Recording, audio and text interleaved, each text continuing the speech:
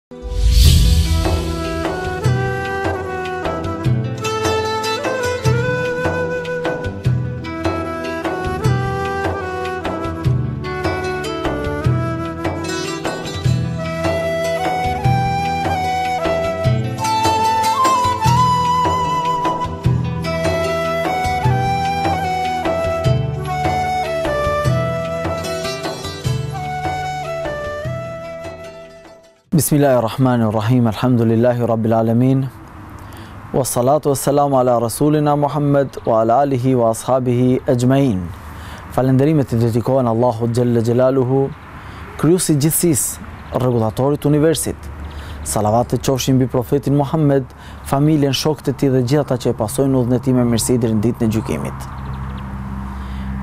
Pasi profeti Muhammed alayhi salatu wasalam qëndroi në xhaminë Kuba, në vendin në lagjen Kuba, mori udhën për të shkuar brenda qytetit Medinës, edhe pse sot Xhamia Kuba është pjesë e qytetit të Medinës, në kohën e profetit Muhammed alejhi salatu ue selam, ajo ishte jashtë qytetit. Quhej si zonë jashtë dhe larg qytetit. Profeti Muhammed alejhi salatu ue selam qëndroi 4 ditë në Kuba dhe ditën e 4 që ishte ditë e premte, ditë e xhuma. Gjatë udhëtimit qëndroi tek Benu Salim ibn Auf dhe fali namazin e xhumasë. Pastaj profeti Muhammed sallallahu alaihi wasallam mori udhën për shkuar brenda në Medine. Të gjithë banorët e Medinës, të cilët kishin dalur për ta pritur profetin Muhammed alaihi salatu wasalam, ishin të gëzuar e tashmë po prisnin të dërguarin e Allahut sallallahu alaihi wasallam. Që të gjithë krerët e fiseve në Medinë kërkonin që profeti Muhammed sallallahu alaihi wasallam të ishte mysafir i tij. Secili prej tyre kërkonte që ai të zbriste tek shtëpia e ndonjërit prej tyre, sepse do të ishte krenari që profeti Muhammed a.s. të ishte mysafir i tij. Por profeti Muhammed sallallahu alaihi wasallam u thotë lëreni devenë time, se ajo është e urdhëruar se ku do të qëndrojë. Aty ku do të ndalojë deveja ime, aty do të zbres. E me të vërtetë, ata e lanë devenë e profetit Muhammed, alejhi salatu ue selam. Deveja e cila ecte dhe kalonte pranë shpive nga njëra tek tjetra, e kudo që ecte, ata i dilnin përpara duke e kapur për kapistre që ta ndalonin, por ai u thoshte lini devenë time se ajo është e urdhëruar. E deveja ecte derisa u ndal tek shtëpia e njërit prej banorëve të Medinës. E Profeti Muhamed alejhi salatu vesselam pyeti, E kujt është kjo shtëpi? Njëri prej tyre ngriti dorën dhe tha, E imja është, o i dërguari i Allahut. E imja ishte zëri i Ebu Ejub El Ensarit, i cili e mori Profetin dhe u gëzua. Shtëpia e tij ishte dykatëshe. Tregon Ebu Ejubi, thotë kur e futën Profetin Muhammed alayhi salatu wasalam në katin e parë, e unë bashkë me bashkëshorten time në katin e dytë, ne e kishim të vështirë që qëndronim në katin e dytë dhe Profeti të ishte në katin e parë. Kështu që i thamë, o i dërguari i Allahut, ti të qëndrosh në katin e dytë, sepse je më rehat, dhe ne nuk mundemi që të qëndrojmë në katin e dytë e ti të jetosh poshtë nesh. Në respekt për profetin Muhammed alejhi salatu vesselam. Por profeti Muhammed alejhi salatu vesselam thotë, unë e kam më të lehtë, unë e kam më të lehtë në marrëdhëniet e mia me njerëzit që të jem në katin e parë, sepse unë do të dal më shpesh dhe futem më shpesh, e kështu e kam më të lehtë që të hy e të dal nga shtëpia kur jam në katin e parë. Tregon Ebu Ejub El Ensari se një ditë prej ditësh kishim një enë një qyp prej balte me cilën mbanim ujë, e kur një natë na u thye qypi, e kështu uji filloi që të derdhej, e duke ditur shtëpitë e asaj kohe të cilat ishin prej dërrasash, thotë filloi që të pikonte ujë, e nga frika se mos uji pikon dhe laget profeti Muhammed alejhi salatu vesselam, hoqëm rrobat duke e mbledhur ujnë dhe e shtrydhnim jashtë me qëllim që të mos pikonte asnjë pikë e të dëmtonte apo të cënonte sadopak profetin Muhammed alejhi salatu vesselam. Kjo ishte dashuria e banorëve të Medinës për profetin Muhammed alejhi salatu vesselam.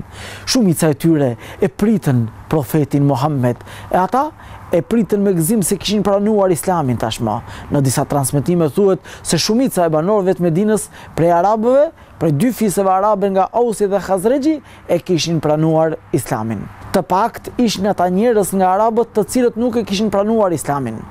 Por ndërkohë, në Medinë jetonin edhe hebrenjtë. Atje ishin tre fiset hebreje, të cilët jetonin në mesin e arabëve. Ato tashmë ishin arabizuar përveç se disa traditave dhe zakoneve dhe përveç ruajtjes së gjuhës së tyre hebreje të cilën e kishin ruajtur dhe e dinin që ta komunikonin mesin tyre në krahasim me gjuhën arabe. Tashmë emrat e tyre ishin emra arabë, ishin emra dhe të cilët ishin shquar mes arabëve dhe ishin harmonizuar në jetesën e tyre me arabët. Ata ishin fiset Benu Nedir, Benu Kurejdha dhe Benu Kajnuka. Këto tre fise ishin fiset, edhe pse ishin më të paktë në numër se fiset arabe, se banorët e fiseve arabe, ato kishin qenë gjithmonë shkaktarë të luftrave mes dy fiseve, duke shkaktuar koalicione të ndryshme me qëllim që ato të jetonin dhe të mbisundonin në jetën e tyre në Medinë. Kur erdhi Profeti Muhamed alejhi salatu vesselam në Medinë, erdhën edhe prej hebrenjve që ta shikonin atë. Sepse Allahu ka thënë në Kur'an, "Alladhina atejna humul kitabe ya'rifunahu kama ya'rifuna abna'ahum." Atyre që ju kemi zbritur librin, ju kemi dhënë Teuratin e ju kemi dhënë Ungjillin, ata e njohin Muhammedin dhe cilësitë e tij ashtu siç njohin fëmijët e tyre. Pa dyshim që cilësitë e Muhammedit gjenden në Teurat, cilësitë e Muhammedit gjenden në Inxhil. E kështu që ata e njohin profetin Muhammed sallallahu alaihi wasallam. Tregon Safia, vajza e njërit prej krerëve të hebrenjve të Medinës, bija e Hujej ibn Akhtab, e cila tregon, thotë isha vajzë e vogël, isha vajza më e dashur e babait Mes fëmijëve të tjerë, më donte aq shumë, por nuk e kam parë kurrë babain tim të mërzitur se ditën që kur erdhi Profeti Muhamed alejhi salatu e selam në Kuba. Atë ditë, babai im së bashku me xhaxhain tim, me Ebu Jasir, dolën së bashku në Kuba. Dhe kur u kthyen, filloi babain që ta pyeste xhaxhai im, a e pe atë që erdhi për të dërguarin e Allahut? I thotë, Po, e pashë. I thotë, Si t'u duk? A e njohe? Po, e njoha.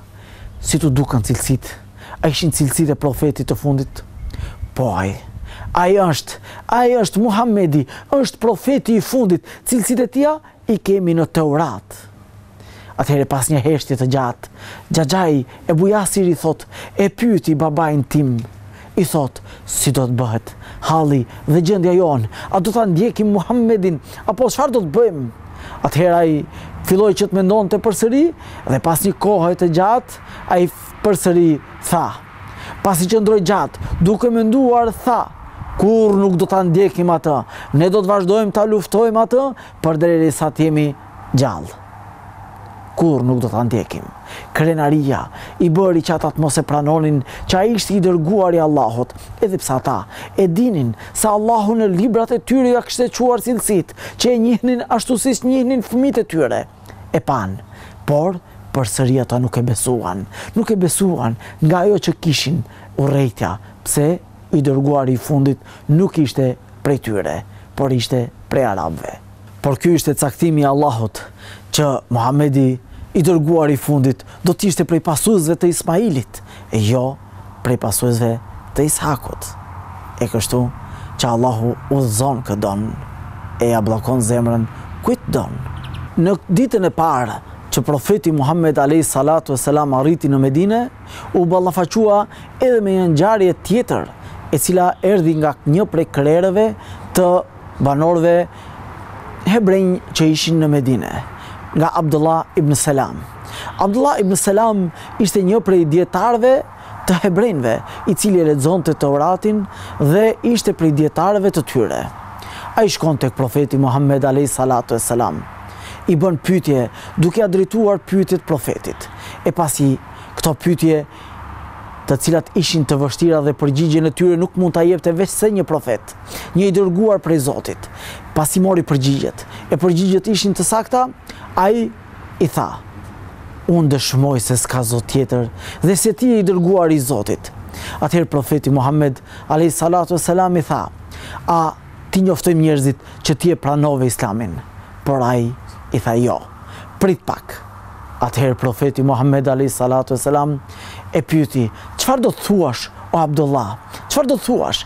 Tha thirri hebrenjtë dhe uli në mexhlisin tënd, në kuvendin tënd dhe pyeti për mua. Atëherë ai thirri krerët e hebrenjve në Medine dhe i tha, A e njifni Abdullah ibn Selamin? Po, i thanë, e njohim, ai është djali jonë dhe i biri i njërit prej nesh. Ai është më i dituri i joni e i biri i më të diturit prej nesh. Ai është njeriu më i mirë e i biri i një prej njerëzve më të mirë prej nesh, duke thurur lavdet dhe fjalët më të mira për Abdullah ibn Selamin. Atëherë, Profeti iu thotë përsëri, Çfarë mendimi keni nëse Abdullah ibn Selam e pranon Islamin? Ata i thanë, kurrsesi ai s'mund ta pranojë Islamin, ai kurrsesi nuk mundet që të të ndjekë ty. Atëherë profeti i thërret Abdullah ibn Selamit duke i thënë, dil para tyre, o Abdullah ibn Selam.